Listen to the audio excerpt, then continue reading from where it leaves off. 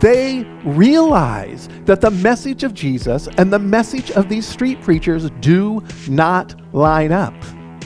The students told him he's only out here to make people mad. He's out here to provoke people. He's working his own agenda. He doesn't represent the church. He doesn't represent Jesus. They realize what a fake he is. And yet, this man will go home and pat himself on the back and say, I planted seeds. I told the truth. And the proof is that I was persecuted for it. He planted no seeds that day. He merely drove people away. He merely made people angry. What was the fruit of all of this? Nothing. I think that these street preachers do more damage to our witness as Christians then good. As we gather this morning, may we learn to be a light to the world. As we lift you up, may you fulfill your promise to draw everyone unto you. Amen.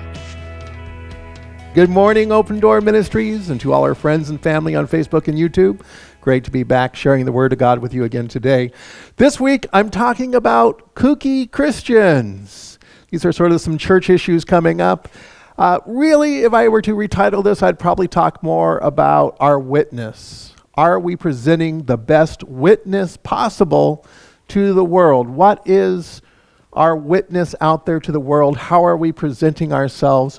How does it impact the way they understand Christianity? How do they understand Christians or Jesus or God based upon what it is we're doing out there in the world? And let's admit it, there are some very kooky Christians out there. I'm going to talk about a couple of different ones. So, um, I have a little quote here for you Be careful how you live. You may be the only Bible some person ever reads. That's attributed to William J. Toms. I haven't been able to verify that, but that's who supposedly said it. Be careful how you live. You may be the only Bible some person ever reads.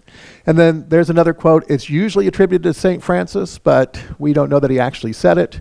Preach the gospel at all times, and when necessary, use words. And what these two particular quotes remind us is that people do watch us.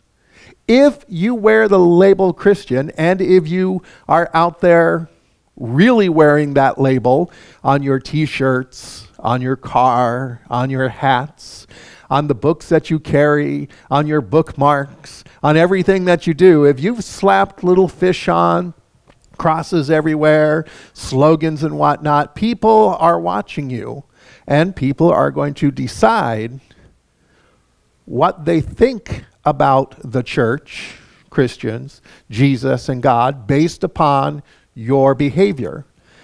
That's why I don't have a fish on my car because of the way that I drive. I drive like a little old lady, and I, I give out blessings to the people around me as I'm driving along. So I don't put any Christian bumper stickers or fish on my car because I would hate to be a bad witness while I'm out there on the freeway. Luckily, I don't have to drive the freeway very often. But our words and actions tell other people about Christians, Jesus, and God. And so we need to keep reminding ourselves of that. What are we presenting out there? Because on the one hand, we need to be authentic because the world can smell hypocrisy. We need to be authentic, and at the other hand, we need to be aware of the image that we are presenting. Paul, in the book Ephesians, in his letter to the Ephesians, chapter 4, verse 1 says this As a prisoner of the Lord, then, I urge you to live a life worthy of the calling you have received. Live a life worthy of the calling you have received.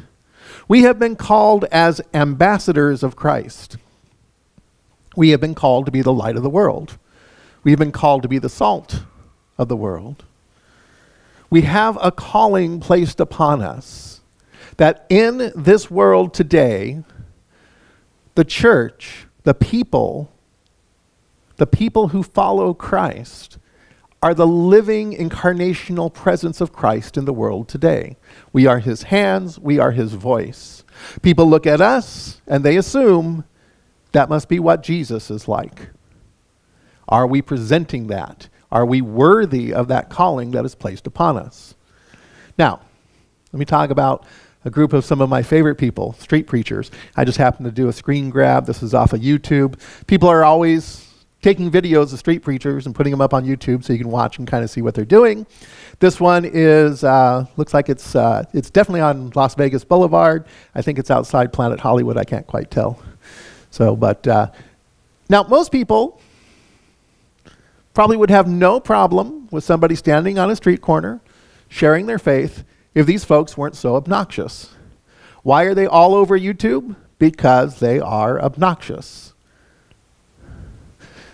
Why are these people choosing Las Vegas Boulevard to be the place to go and share their faith?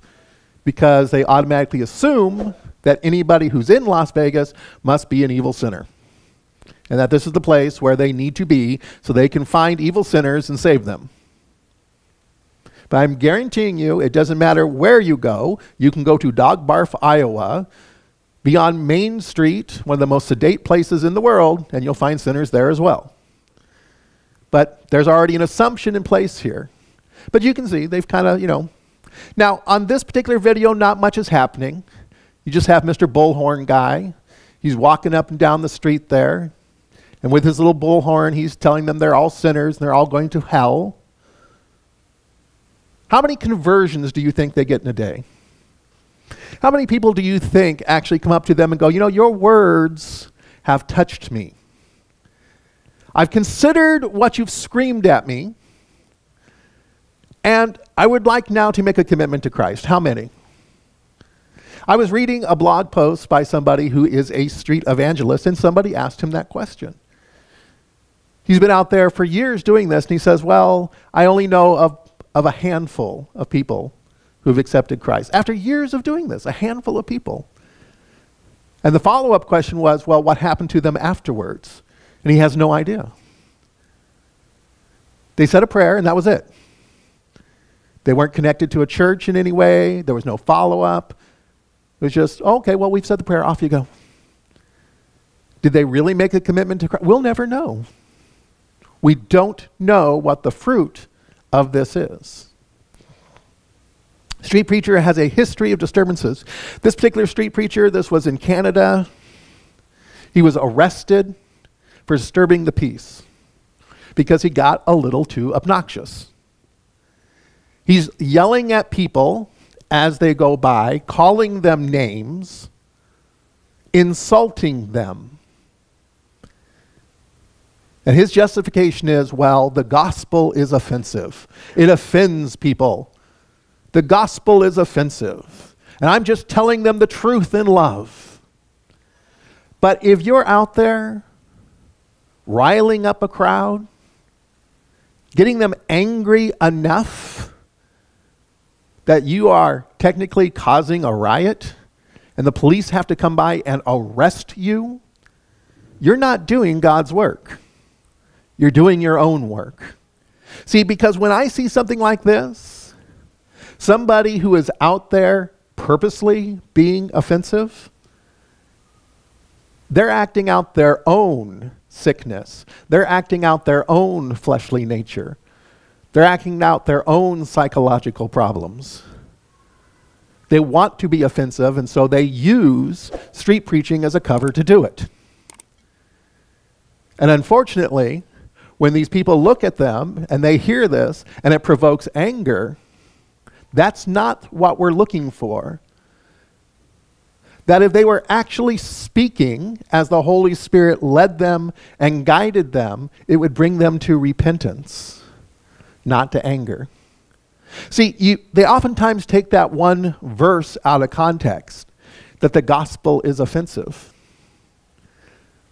But when you read what Paul actually says about the gospel being offensive, the reason that it is offensive is because Paul preaches Christ crucified. And to the Jew, that is an offense. Because if Jesus were truly the Messiah, he would be a king who conquered, not a servant who died. And so to them, it's offensive. To the Greeks, he says not only is it a stumbling block for the Jews, but also to the Greeks. Because for the Greeks, the crucifixion is a shameful death for criminals. And how could you ever worship a criminal? That's why the gospel is offensive. Because Christ is a suffering servant who suffered the ultimate humility on our part. It's not offensive merely to be offensive, but it offended the sensibilities of honor and shame of the people who heard it. One of these anti LGBT preachers was just arrested after elbowing a University of Georgia student. This guy's a frequent visitor to Georgia colleges and universities. And he stands out there and he riles up the crowd and he shouts insults. And when asked about it, why do you act in this way? You know, well, he says, you know that when, when, when you're doing God's work, they're going to hate you. That's what Jesus taught. They hated me, so they're going to hate you. So I obviously must be doing God's work because they hate me. He doesn't understand that they dislike him because he's an obnoxious jerk. And people oftentimes protest the way that he attacks people he doesn't preach to them, he attacks them verbally. And so they gather in protest. And one of these protests got out of hand, and he ended up elbowing one of the students and found himself arrested. This is not like Paul, who is arrested unfairly. This is, I caused a major disturbance. I, I was disrupting the peace. I yelled fire in a theater. I went out with the purpose of agitating, and I did it. And so I have a real problem with these folks. These kooky Christians, these obnoxious Christians, because it affects our witness. What are they really communicating?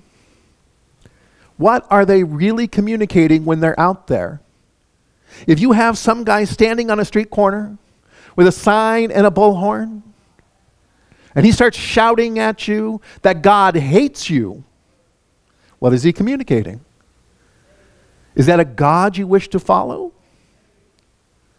Is that a God that shows love and compassion? Are they doing God's work, communicating the truth? Because what is the truth? What is the gospel truth that is out there? The gospel truth is simple that God humbled himself out of love, that God humiliated himself out of love for his creation. That's the gospel truth. Instead, they preach, and they preach a God who hates, a, pre, a God who wishes to destroy. Are they communicating the truth? And the answer is no. The students, when they ask the students, you can go on YouTube, you can look at this. They asked the students, What do you think about this guy? And these students are not Christians, but this was their answer. He doesn't represent the Jesus they preach. They realize that the message of Jesus and the message of these street preachers do not line up. The students told him, He's only out here to make people mad, he's out here to provoke people. He's working his own agenda. He doesn't represent the church. He doesn't represent Jesus. They realize what a fake he is. And yet, this man will go home and pat himself on the back and say, I planted seeds. I told the truth. And the proof is that I was persecuted for it. He planted no seeds that day, he merely drove people away. He merely made people angry. What was the fruit of all of this? Nothing.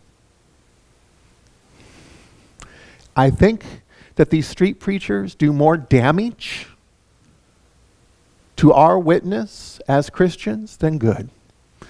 Ah, yes, I call this one Saved by the Bell. That's my pun for the day. This particular individual, his name is Jonathan Bell.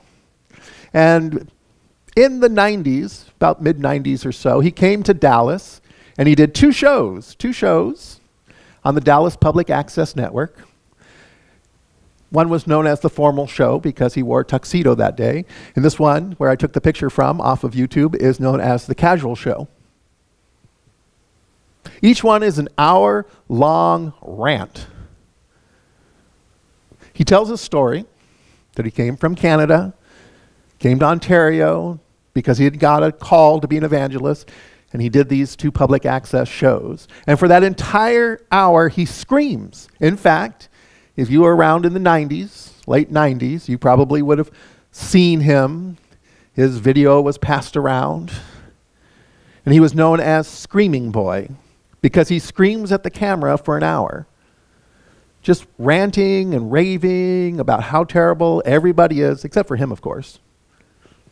He spends four or five hours a day studying the Bible. God speaks directly to him. And he's trying to save everyone.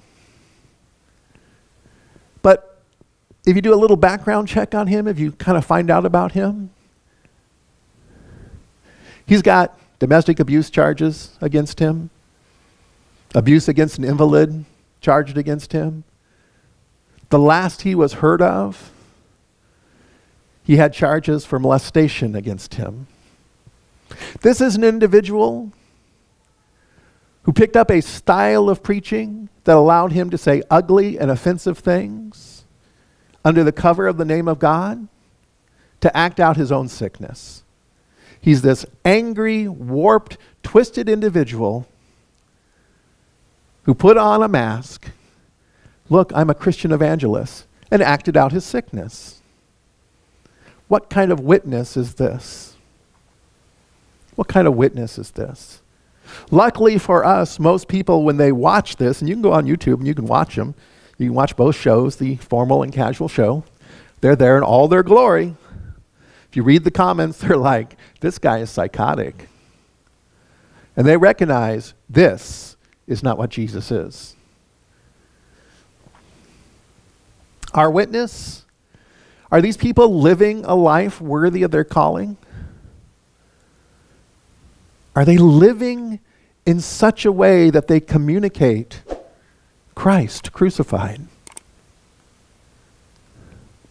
Ah, yes. Now let's move on to my second group people super Christians, Jesus freaks. You know them, you've seen them, you've encountered them, you might even have been one at one time.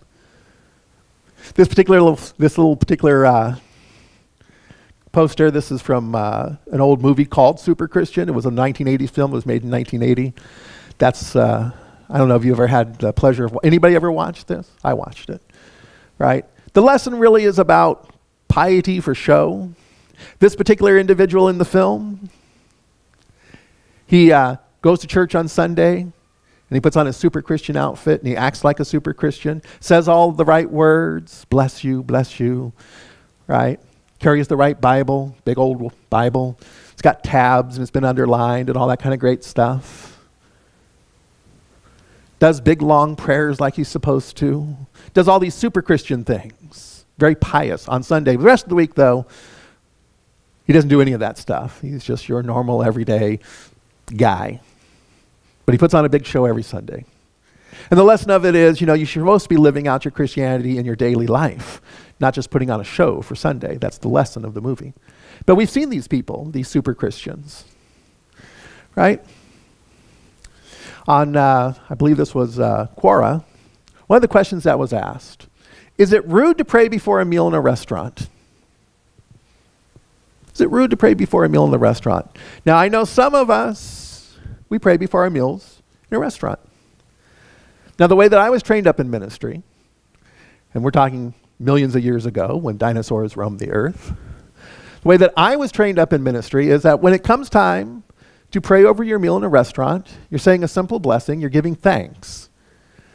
That prayer is fixed to a purpose, to give thanks to God because all good things come from God. And we are merely acknowledging that even the food on our table comes from God. And that's what we're supposed to. So that's why we say this prayer. The minister that originally trained me, the first time we went out, and he was going to say a prayer, and it was, you know, okay, you say a prayer. He stopped me before I, I, I started praying, and he said, I want to remind you of something. This is just a prayer to bless the food and say thank you to God for it. This is not the time to pray for Auntie Griselda's sick cat. This is not the time to pray for all the missionaries in China, each one by name. This is not the time to pray for you know, the entire church in our country, in our state, in our city, and all our official. This is not time for that. Quick, simple prayer. We acknowledge that God has given us all good things. And so whenever I do a prayer over a meal, that's what it is. Very quick. Just I'm just stopping to acknowledge that God has given good things. We've been in restaurants, and I know some of you have been in restaurants where doing prayer becomes a huge show as they pray very loudly and get everybody's attention. I've talked to some servers who are like, oh, you know what I really hate? I get the food there, and that's when they stop me. And they're like, we need to pray first. Would you like to join us? she told me, no, I just want to put the plates down. I got more plates and more tables. See, the question is is it rude to pray before a meal in a restaurant? Is it a show? Many of the answers were the same. Absolutely not. It's not rude to pray before your meal. Christians and non Christians agreed on this. As you read through all the comments, the Christians and the non Christians agreed on this. Absolutely not. It's not rude to pray for a meal. If you want to say grace and thanks to God before your meal, you have every right. It's not rude at all. Now, there's no need to make a spectacle about it and draw attention to yourself, but it's totally fine to say grace if you want to. As long as you're not making a spectacle, as long as you're not making a scene, as long as you're not causing some kind of commotion, then everybody's cool with it, Christian and non Christian alike. Alan Noble from the Gospel Coalition says this We certainly shouldn't say grace in order to be seen saying grace. And yet, we've run into people who do that. It's a show of piety or to make people uncomfortable. We don't pray loudly so that others will be shocked and disturbed by our piety. It's my way of witnessing as I shout my lunch prayer. I'm casting my bread upon the water. All those heathens will now see what a real Christian is like as I pray for 10 minutes loudly over my food. We don't play loudly so others will be shocked and disturbed by our piety. Being a Jesus freak just to be a freak capitulates to the game of secularism in that it turns our faith into an advertisement, a signal to others. The practice of our faith turns out to be the advertising of our faith, which is the exact kind of hollowness at the core of so many contemporary beliefs we are seeking to avoid. Are we practicing our faith because of our real, genuine devotion to God? Or are we trying to advertise I'm a Christian? If you have to advertise you're a Christian, and people can't tell without the advertisement, maybe there's a problem. And whenever you pray, according to Jesus in Matthew chapter 5, and whenever you pray, do not be like the hypocrites. For they love to stand and pray in the synagogues and at the street corners, so that they may be seen by others. Truly, I tell you, they have received their reward. Jesus would go on and say, Hey, when you, when you pray, go home and into your closet and be by yourself. Don't do this for show. Our devotion to Christ should never be a show advertising to other people. Do you know why? Because they recognize it for what it is. They recognize it. When I talked about ex evangelicals, I think it was last week I talked about them. I talked about two books, and both books mentioned the hypocrisy of Christianity. The phony show that we put on. Trying to convince everybody look, I wear the right shirts. I have a big old cross around my neck. I carry a big Bible. I have a bumper sticker on my car and a fish. I'm a Christian. And it's all for show, and they recognize it. See, because they see you not just on Sunday. They see you not just when you're wearing your shirt. They see you not just when you're carrying your Bible. They see you every day at work. They see you in line at Starbucks. They see you at the restaurant. You know, at that restaurant where you made that big showy prayer and then were abusive to the waiter, abusive to the waitress, where you refused to tip because I only give God 10%. Why would I give a, a server 18%? Where you got obnoxious in that restaurant and behaved poorly because you felt entitled. They've been watching you, they watch us. And the question always comes back to what is our witness? Do these outward shows of piety present a good witness? Or does it merely highlight our hypocrisy? Super Christians, you know the ones I'm talking about. I grew up with a whole bunch of them. I grew up with all kinds of these folks. And it's no to everything. Acts of piety, right? I let no unclean thing come before my eyes. And they have a whole list of things that are unclean. We had a multiple page list of things we weren't allowed to do at my private Christian schools with Bible verses to back them, like chewing gum. Chewing gum is evil. I don't know what the Bible verse was. I would give anything to get hold of that list again so I could look up and find out what that Bible verse was. I've looked up in the Bible chewing gum and I haven't been able to find it. Anyway, no secular music. No secular music. I will only listen to Christian music. Why, why no secular music? Well, you're supporting the evil lifestyles of the performers. Have you seen some of the lifestyles of the Christian singers as they're going through their second or third marriage? As they're struggling with alcoholism and drug addiction? No Harry Potter movies promotes Satanism and witchcraft. No R rated movies, they use bad words. No video games. All the violence in video games is turning us violent. No alcohol. No alcohol. Alcohol is evil. Causes all these societal ills. Now, I personally don't drink. I don't. There's a reason for it. Has nothing to do with the Bible. Has nothing to do with my religious convictions. I don't drink because I come from a long line all throughout both sides of my family of alcoholics and addicts.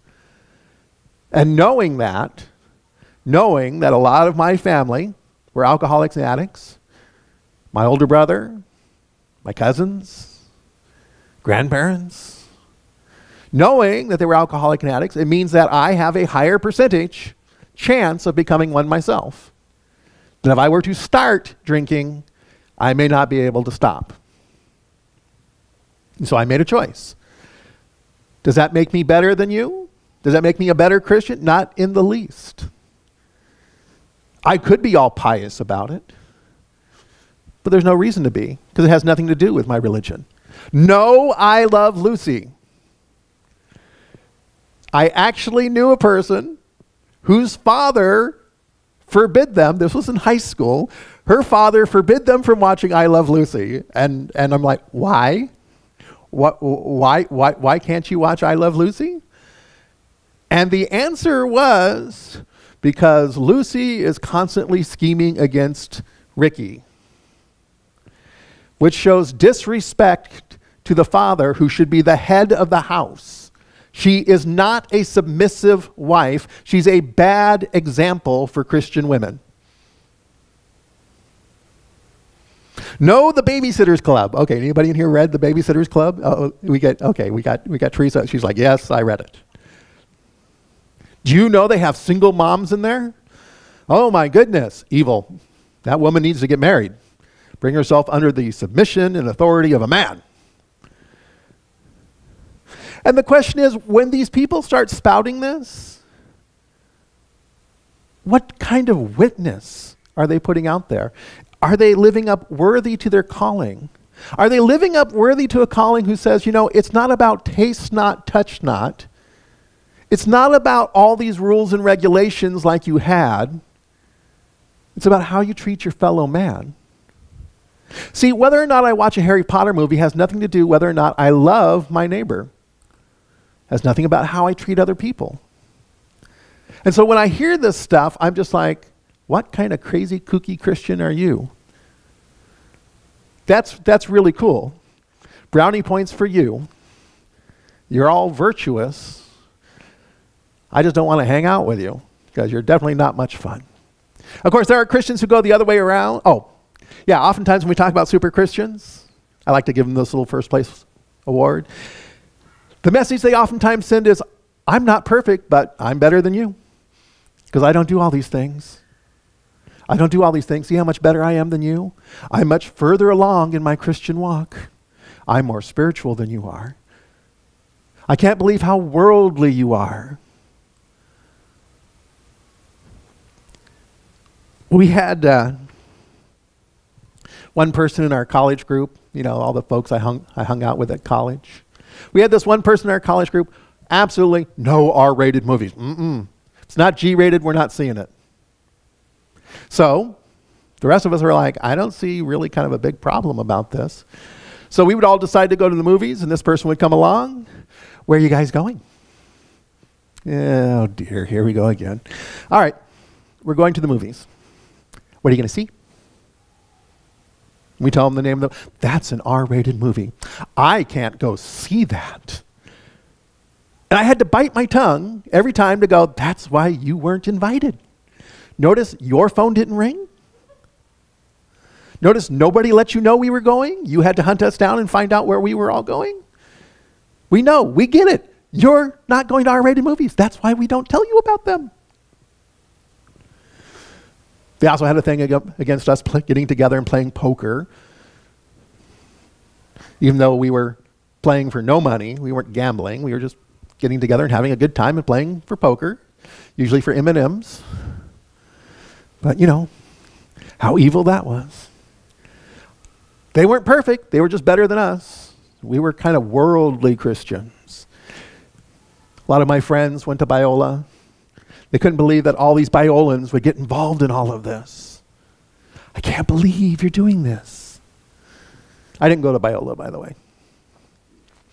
How your piety expre- is expressed communicates your motive. What is your motive in doing all of this? Is it simply to say that you're better? Are you trying to convince us that you're more spiritual than the rest of us? Because it doesn't sound that way. It's not how people hear it. All right, so let me go about the ones that go the opposite direction. I've been in a group of guys, right? You hang around church for long enough, you might end up in a men's ministry somewhere. And some of the guys, you know, they're like, first time I joined them, they pulled me aside. They're like, we just want you to know that uh, we're not like those overly pious people. We actually get together every once in a while and smoke a cigar. And there was a smugness about it. About we're better Christians because we don't follow these silly rules. We have liberty. See, it's all about your motivations and your attitudes about all this. Do you think you're a better Christian because you eat meat or don't eat meat? Paul dealt with that issue over and over again. Who's the better Christian? Well, we keep kosher, so we're better than you. Oh, you follow, we don't follow those silly rules. We have liberty in Christ. That makes us better than you.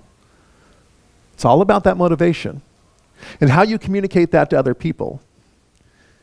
Are you trying to communicate to them that you're better spiritually because of what you do? Are super Christians simply virtue signaling? Virtue, virtue signaling is the act of speaking or behaving in a way that's meant to demonstrate one's good moral values. We see people do it all the time. The most famous example you can probably think of is the Ice Bucket Challenge. You guys remember that? The Ice Bucket Challenge was all the rage a couple years back. People participated in the ALS Ice Bucket Challenge without making a donation, suggesting that they cared more about participating in the event and the attention associated with it, with it than they did about supporting the related cause. See, the whole point of the Ice Bucket Challenge was you were supposed to make a donation. It's like, oh, well, if you don't make a donation, you dump a thing over your head. But there it was, all over social media. All the social media sites, people dumping buckets over their head. Look at me. Look at me. And none of them gave a donation. They didn't care about the cause, they cared about the attention. I will commend one particular star who actually did a video for the ALS Ice Bucket Challenge. Patrick Stewart, you may know him as Captain Picard from Star Trek The Next Generation. I thought he did a great job about it because he took the ice bucket out, took out two ice cubes, put it in a glass, poured himself some scotch, and wrote a check to support. I'm like going, that's how you do it. Not look at me, but here's the money. I support you. Virtue signaling, oh, like this one. This is one of my favorites. I saw this one beginning to appear on Facebook all over my feed. Let's start offending everyone by wishing them a Merry Christmas. I have a lot of issues with this one. First off, nobody's really offended by saying Merry. That is just a myth. That is something that was concocted. That's just a lie being sold. Nobody's offended by you saying Merry Christmas. Why do we say happy holidays? Because we are simply acknowledging that some people don't celebrate Christmas, they celebrate something else. If you wish me Merry Christmas, I'm not going to get offended. Great, thank you. But this is just virtue signaling. I'm part of this in group. Mm-hmm. I belong to this to the correct group. We say Merry Christmas. I think the part about it is let's go out and offend people. That's the goal. That's the purpose. Let's go out and offend people.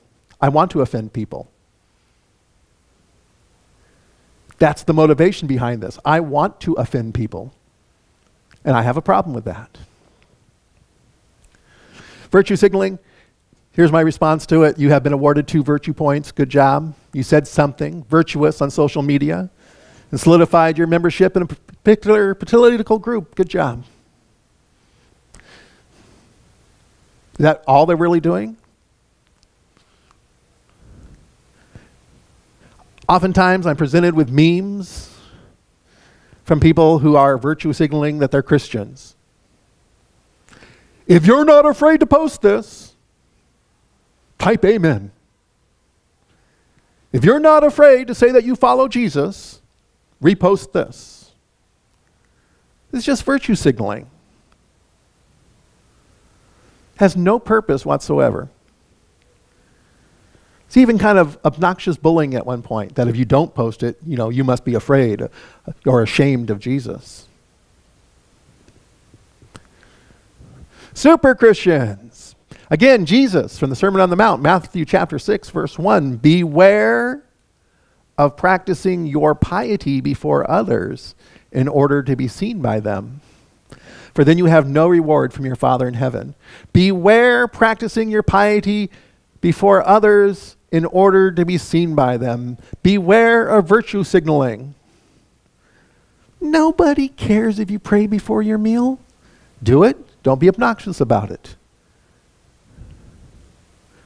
Nobody cares if you want to post your meme. If you want to say, hey, I think God is awesome, then post that meme. Awesome. Nobody's going to say anything about it. When you start virtue signaling, I bet you won't repost it because it uses the name of Jesus. Then you're being obnoxious. You're doing it in front of others just to be seen.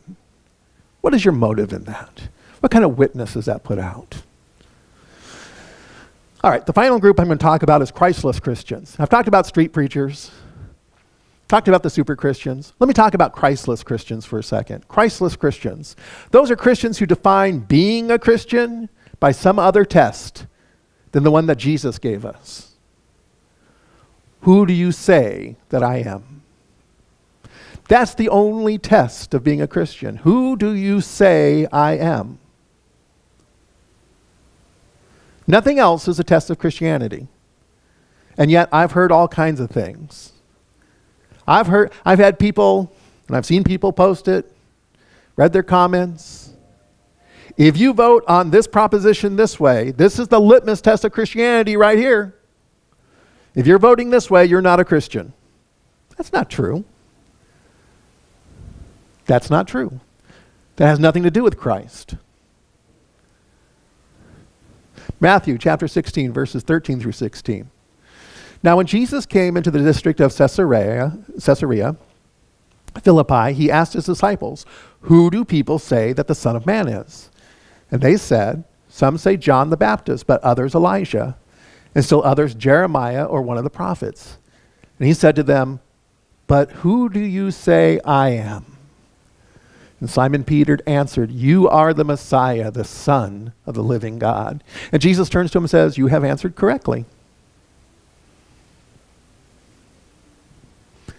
I've now read several books and multiple articles and some scholarly articles on the phenomenon of evangelicals and QAnon. And over and over again, we are seeing that this whole QAnon belief system has overtaken the evangelical churches. But we weren't called to worship QAnon. We weren't called to preach QAnon. QAnon has nothing to do with Christ crucified. QAnon has nothing to do with who do you say I am. Most of the stuff that I've read indicate that all these evangelicals who follow along with this QAnon stuff, they're all at different levels. Some of them are just kind of on the surface. They see QAnon as opposition to child trafficking. Nobody's going to argue against that. The only problem with is the way they're going about trying to fight this problem of child trafficking makes it worse. Takes the focus off where it needs to be. Actually hinders the prevention of child trafficking.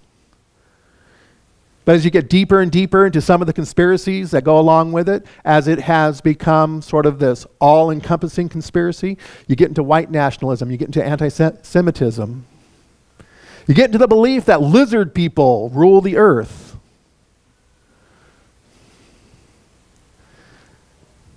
Only the people at the deepest levels really begin to do this.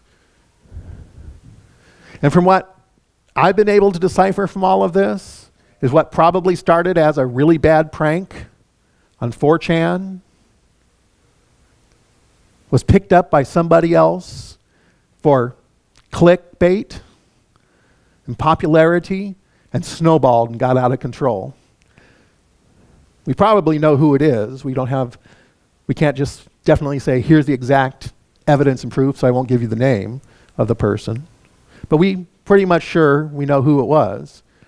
And they moved from 4chan to 8chan to 8kun. These more radical forums. But it's come into the evangelical church. And it's become the major topic of the church. When did we stop preaching Christ? When did we stop preaching Christ crucified? The God that steps down from heaven, that sets aside his glory, that suffers on our behalf. When did we stop preaching that and start preaching this in our churches? This has no place. This has made our churches a Christless Christianity, which is no Christianity at all. I put this picture up here. Most of you probably don't recognize them. Anybody recognize them? This is supposedly I call him supposedly pastor, but he is a pastor. He pastors a church. His name is Pastor Mark Burns. And recently, he appeared at a rally at John Hagee's church where he led the crowd, a large crowd at a rally, into a chant of Let's Go Brandon. Let's go, Brandon. And the crowd got into it. In this, ch- this church crowd really got into it as they all started chanting, Let's go, Brandon. Now, if you don't know what that code phrase means or what it's for, anybody not know what that code phrase means or what it's for? It's a covert way of saying F you, Biden. That's right. in a church. This is what they're all chanting. Oh, but they didn't actually say it. I got busted for that. I may not actually have said the word damn, but I said darn. And as was explained to me, that that's what was in your heart, and it's what's in your heart that matters. Whereas Proverbs says, out of the abundance of your heart is what comes out of your mouth. Everybody knew what they were saying, and it reveals what was in their heart. And it reveals something of a fleshly nature. That this man, supposedly a man of God, stood in front of a church and led an entire congregation to reveal their fleshly nature and was praised for it. And you tell me, you show me chapter and verse in the Bible where it says the political party you belong to is what defines you as a Christian, that that's the litmus test. Because I will contend with you that the only test for whether or not you are a Christian is who do you say I am? And it's the question that Jesus asked us. That was not the question that was asked by this person. A Christless Christianity. What kind of witness does that give to the world? That if you don't subscribe to a certain political philosophy, you can't join the church? You can't be saved? What kind of witness is that? Our witness is not our theology. Our witness is not our theology. See, when I put this all together, when I really think about this, when I say, how do I act this out in my life? How do I communicate a message? What do I think you need to hear? I want you to hear that our witness is not our theology. There are 42,000 denominations, and the church is famous for killing off heretics. Oh, we don't burn them at the stake anymore. We used to. I'm sure there's a lot of churches that would like to go back to doing that but we'll destroy their careers. Rob Bell, who is a rising evangelical, had his career destroyed for merely asking the question Do you think hell truly is forever? Or can it serve a redemptive purpose? He had his career destroyed because he didn't toe the party line. 42,000 denominations we have. Why are we not unified around Christ? I don't understand. Why do we destroy the career of anybody who doesn't toe a certain theological line? Non believers, non believers aren't drawn to Christ because of a church's theological viewpoint. There has never been a non believer who looked at our bulletin or went to our website and pulled up our statement of faith and said, Now, now I'm going to become a Christian and go to that church. Can we be honest? The statement of faith is merely for the rotation of the saints. Churches put out a statement of faith so that people who are already Christian can look at it and go, I agree with them, I'll go with them. Look at another one, I don't agree with what they teach, I'm out of here. It's for people who are already saved. Our theology is not our witness. That's not what draws people to Christ. Our witness isn't how many people we can make angry at us. Sorry, street preachers. Sorry, you ranting people on YouTube, Facebook, all the rest of it. Your ability to get somebody mad doesn't mean you're preaching the truth. You aren't being persecuted, you're just being a jerk. Being obnoxious is not a Christian virtue. Why is the gospel offensive? Because it talks about a God who would shame himself on our behalf. It's not offensive because you're calling somebody nasty names. Rabid Christians spewing hate don't align with Jesus in the world's eyes. That's why those students, when they look at these people, go, they don't represent the organizations they claim to. They look nothing like Jesus that they're supposedly preaching. Our witness isn't what we're opposed to. And there's a long list of things you can be opposed to. You can be opposed to abortion. You can be opposed to homosexuality. You can be opposed to Harry Potter movies. You can be opposed to the babysitting club.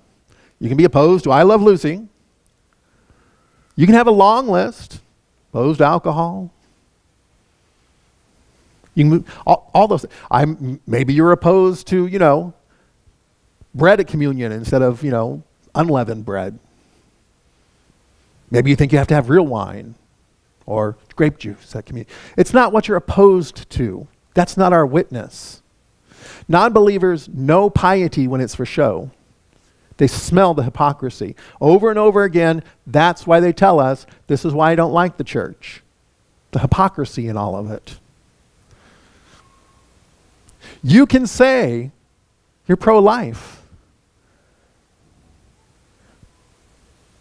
But if you leave a mother and her child hungry and starving, non Christians are going to look at that and go, What's the point? You don't look very pro life now if you let that child starve. I know I've told this story before, but I'll tell it again. I'll never forget walking down the street with a non believing college student, friend of one of our college ministry kids, wanted to ask me some questions. We went down to Main Street on Huntington Beach, walked down to the pier. I'll never forget that experience. Because when he saw a group of Christians standing out there doing piety for show, playing their little guitar, singing their little worship songs, hands, oh, we're worshiping Jesus, oh, Jesus, oh, da da da da. On and on they went. What's that all about? He wants to know. Oh, well, they're worshiping Jesus. You know, they're, they're singing praise songs. Oh, so they're all Christians. Yeah. Well, then how come they don't do something about that? And he points a mere couple of feet away to a homeless lady shivering in the cold. Nobody offered her a blanket, sweater, meal, money. A few feet away. Oh, Jesus, Jesus, Jesus. And all that could go through my head at that moment was that whatever you do to the least of these, you've done to me. They left Jesus sitting in the cold while singing his praises. We didn't get much further. We got down to the pier, just at the start of the pier. Guy standing there on a box, street preacher. As we approached, he looked at me, he turned to me first. Do you believe in Jesus? Yeah, I do. Well, then move on. I don't need to talk to you. What was that all about? He figured I didn't need to be evangelized since I'm already saved. Oh, so he can't be nice to you? He can't be friends with you? He can't talk to you? The only reason he can talk to you is to save you? Isn't that kind of using you? Yeah. We can't actually have relationships with people and talk to them and be with them unless we can evangelize them. Is that the only thing we can do? Non believers know piety for show. They see the hypocrisy, it destroys our witness. Our witness isn't our politics. American dirty politics, and it's dirty, folks, it's nasty, has done nothing but create divides, even within the churches. Can you believe it? Even within the churches.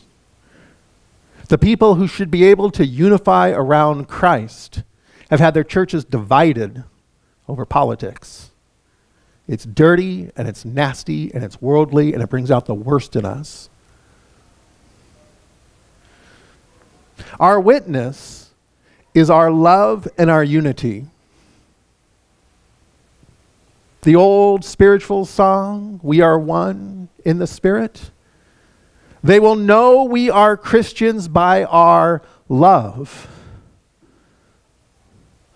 When people see us and they see love and they see unity, then they're going to know we're different. Then they're going to see something that they're going to see as attractive. They're going to go, you know, there's something different. I need to find out about this. But until they see love and unity, forget it.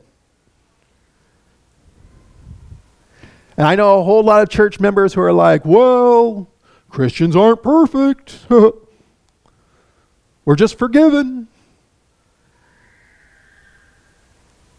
We're not asking you to be perfect. We're asking you to be Christ like.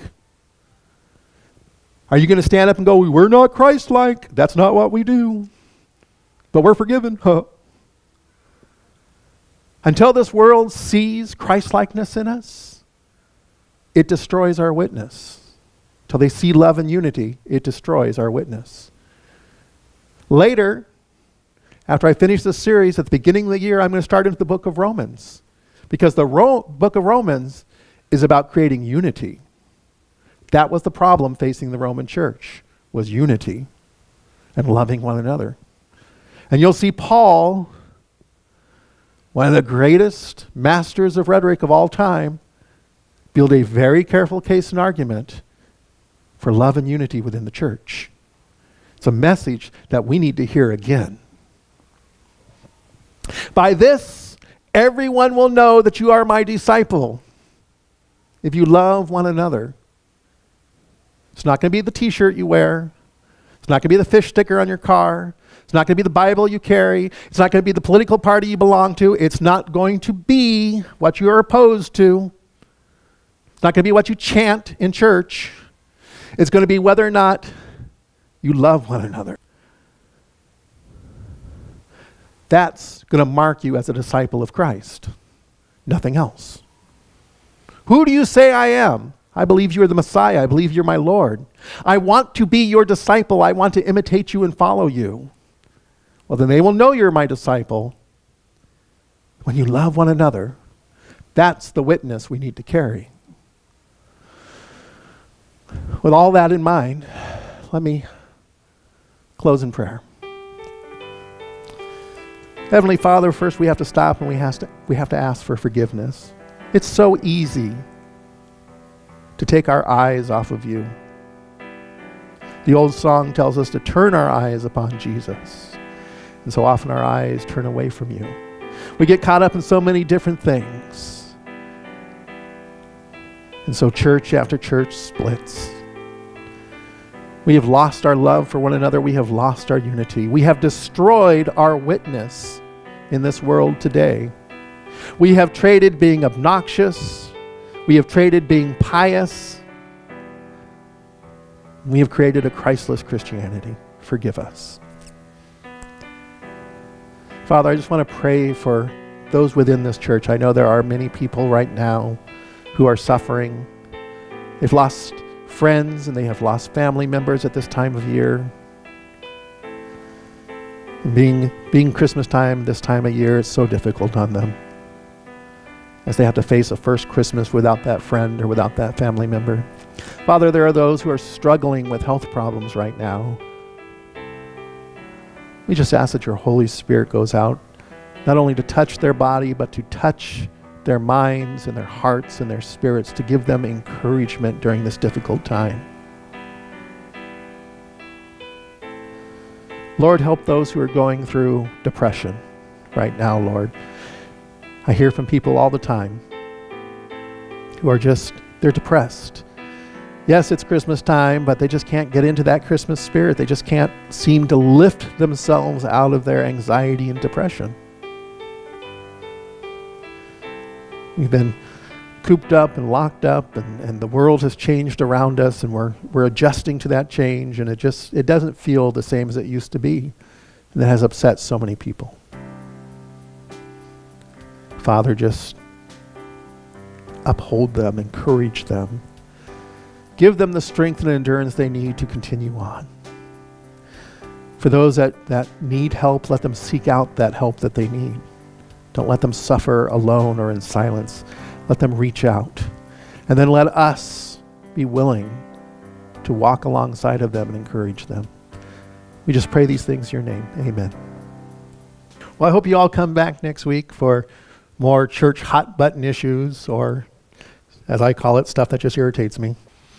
Now, we're going to continue talking about church hot button issues, and I'm looking forward to sharing some of that with you. But let me close with this in our benediction today. Lord, make me an instrument of your peace. Where there is hatred, let me sow love. Where there is injury, pardon. Where there is doubt, faith.